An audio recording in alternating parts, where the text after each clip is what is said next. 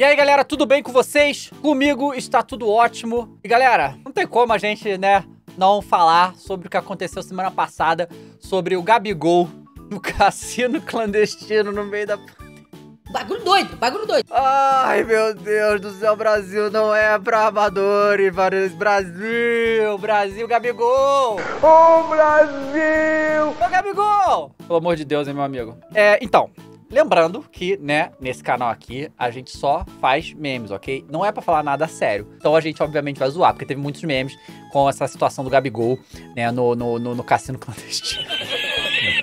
Cara, eu falo, e, e, é um negócio que é difícil de acreditar, né? E como vocês sabem, agora teremos aí a companhia do Caio, que vai no, no, nos mostrar algumas coisas aqui. Vamos lá. Fala comigo, rapaziada. Bom, então, cara, já tô aqui trajado com a minha camisa do Flamengo, tá certo?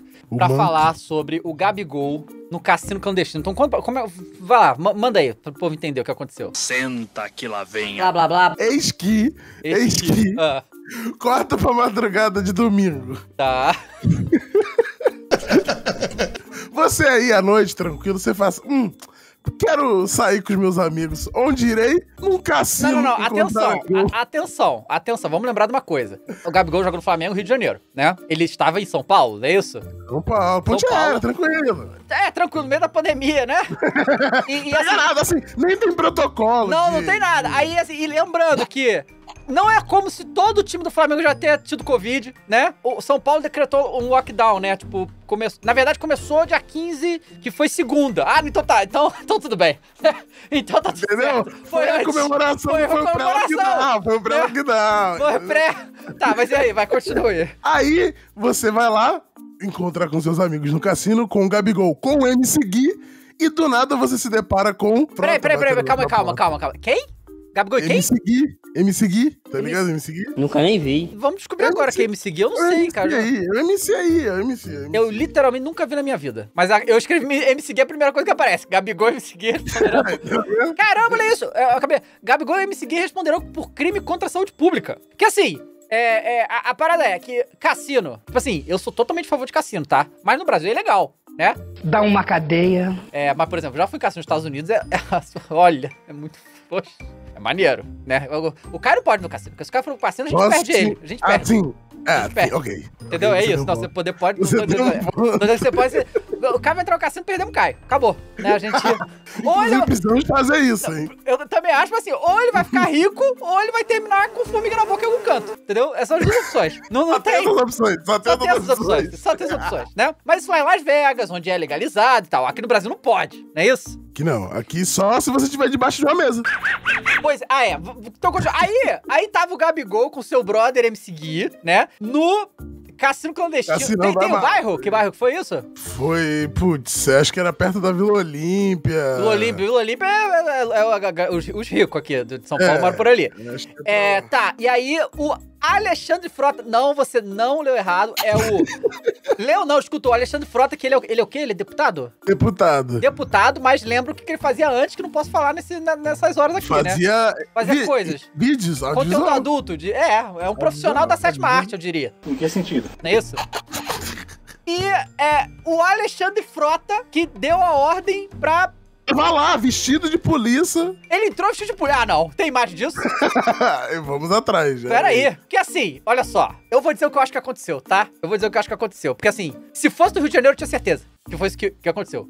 Mas, como não foi, eu não sei. Mas, a, presta atenção. Chegou lá. Cassino Clandestino, não tinha só eles dois, tá? A galera, né? A galera lá, fazendo as paradinhas jogando? Pá, não sei o quê. Beleza. E se o Gabigol foi, é porque era um bagulho de, de- de al- alto nível financeiro, né? Gambling, gambling. Gambling, gambling. Eu tenho certeza que alguém viu o Gabigol lá e falou: ah, não, vou ter que fazer uma brincadeira aqui. E essa pessoa ligou pra, ou pra Alexandre Frota, pra, ou pra alguém, tá ligado? Pra falar, pra Uhum. fazer isso aí. Eu tenho certeza que foi isso. Brasileiro é um bicho filho da puta. Foi uma batida aleatória, galera. Pelo amor de É tipo, nossa, que coincidência, né? Justamente no dia que o Gabigol está aqui. Pois é, tipo assim, Olha só. só. tem esse ca- cassino clandestino em São Paulo? Não tem, né? Não tem. Então, né, obviamente. Aí, as informações que vieram foi que o Gabigol se escondeu na mesa, é isso? Se escondeu debaixo Tem- tem- da mesa pra ver se tirar- passa uma batida, né? Tinha na declaração aí do, do, do PM que falou isso, eu lembro que tinha um cara que falou isso. Aqui, achei no UOL, ó. Gabigol estava escondido embaixo de uma mesa em cassino, diz delegado. Não gostou muito porque ninguém gosta de ver a polícia nesse momento. Ele tentou se esconder em uma mesa atrás de umas moças. Ele é um pouquinho nervosinho com a presença da polícia, mas depois foi conduzido para a delegacia onde foi ouvido. Porra, ele é nervosinho com o técnico, não vai ser com a polícia. Pô, né? não é, tipo...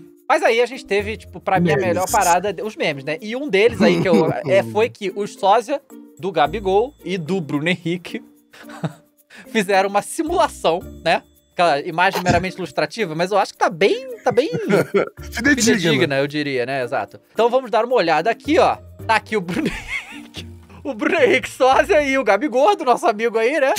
É Quem o. vai jogar o Carioca, Quem inclusive? vai jogar o. Não, Você tem esse link aí? Eu vou te mandar. Arruma aí. Só, cara, moleque, não, é muito suave isso aqui, que é aquele, aqueles caçanicos de bar, tá ligado? Que também é proibido. O Brasil não pode Também nada, é proibido. É a verdade. Sim, O eu tenho um aqui perto da minha casa. Mas FIFA pode! Me explica por quê, Caio? Por que, que FIFA Ah, pode? Pô, né? Não pode- olha só, não pode público. nem a maquininha de caça-níquel no bar é permitido, mas o FIFA pode. É brincadeira! Mas o FIFA pode, Para né? O- todos os públicos. Pra, Para, todos os públicos, é, ainda tem essa.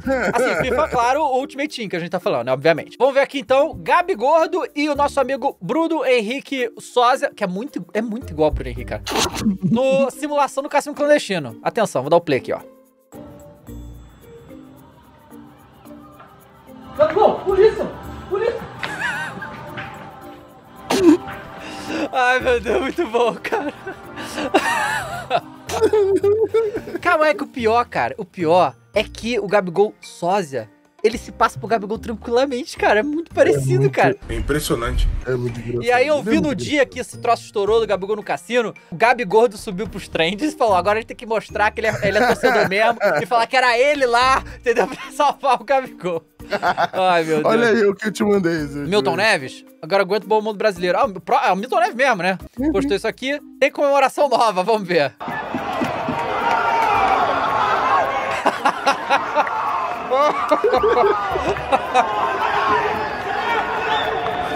ah, excelente, cara. Aí tem que aguentar, né? Eu acho bom que o Gabigol não tá nem. Vai falar o quê, né, meu amigo? Tem, tem- não tem o que falar, né? Tem Não que que falar. tem que aguentar, tipo, desculpa lá. Fez merda, pediu desculpa, beleza. É, eu falei aqui, a gente não vai falar de coisa séria, não, ok? Tá certo? Né? Não vou falar nem que péssimo exemplo ele tá sendo. é. Não vou falar como horrível pra imagem dele. Não, esquece aí. Risadinha kkk hoje, né? Aqui é só zoeira, É, ok? terrível. Só isso. É, é. É, é. pois é. Então acho que tá bom, né? Ou você tem alguma outra coisa aí? Eu mandei aí o link do Gabi Gordo no. no Na mira de clubes, é, tem essa aqui. Gabigol entra na mira de clubes para jogar o Carioca. O projeto deve seguir o caminho que o Cartoloco fez no Resende Cartoloco. Eu não, você conhecia esse Cartoloco? Eu não, eu não, não tinha ouvido falar. Eu, ele era da Globo e aí foi Ah. pra Record. Caio? Então, vamos lá. Ah, aqui, ó. Assim como ex-apresentador da Globo e ex-Fazenda. Ah, ele também foi Fazenda. O Cartolouco Foi contratado pelo Fazenda. para atuar no elenco. Outra figura do futebol pode pintar no estado do Rio de Janeiro. Aos 36 anos, Jefferson Salles, o sósia do atacante do Flamengo Gabigol, está na mira de dois clubes. Dois clubes! O maluco é brabo. Aí É a briga pelo Gabi Gordo. Ah, porra! Aí, ó. Estou focado em alguns projetos que em breve vocês irão saber. Estamos nos preparando para não fazer feio e trazer muita alegria dentro de campo. Estamos sendo sondados para alguns clubes do Rio. Meu empresário está. Meu empresário, olha que loucura, cara. É o melhor propósito de fechar contrato. Não, cara, olha só. Porque assim, eu sou carioca, né? Infelizmente, né? Eu acompanho o Campeonato Carioca há muito tempo, tá certo? Muito tempo. É, inclusive, eu, eu não sei se você vai lembrar disso, cara, mas acho que é uns oito anos Hum. atrás, quando o Flamengo ganhou a última Copa do Brasil. Copa É. do Brasil, 2013, tá? 2013, isso. O- ou seja, oito anos atrás. Eu tenho um vídeo que foi logo no dia seguinte que o Flamengo ganhou a Copa do Brasil. Era vídeo do vlog de notícias de videogame. E eu não falei nada, eu só tava com a camisa do Flamengo e na, na televisão atrás era, era o brocador. Com uma furadeira na mão, tá? Era só isso. Eu falei, doutor, então a gente acompanha. E aí eu, eu, eu tenho o, o, o- o- a infelicidade de acompanhar o Campeonato Carioca há muito tempo. Uma perda de tempo. Mas assim, cada vez eu tenho menos interesse nesse campeonato, né? Porque estadual, né? Vamos combinar. Mas eu sei que time é o Resende. Sabe? Agora, fora do Rio de Janeiro, não acho que tem muita gente que conhece. Eu né? fazia a menor ideia, só conheci Pois é. do, do Tô louco aí. Exatamente, então funcionou. Aí que tá. Esse tipo de marketing funciona. A gente sabe, Resende e esses outros times menores não tem muita chance mesmo no ca- no campeonato estadual contra os grandes, mas tem uma chance de conseguir, né, mais um reconhecimento, aparecer, visibilidade. aí, Então, Vender jogador, quem Vender sabe? jogador, exato, porque né, não, não é porque o time é pequeno que ele não pode revelar grandes Sim, craques, né? sim. Muito pelo contrário, o, a- o Ronaldo foi revelado em São Cristóvão, né? Então, assim, é. São Cristóvão, inclusive, minha avó mora lá em São Cristóvão. Mas é isso, galera. Tá bom. Obrigado aí, Caio. O vídeo de hoje foi ótimo de novo, Gabigol no Incrível, cassino. família. Pô, comenta aqui embaixo mais loucuras que vocês querem que a gente fale. Até a próxima, gente. Tchau.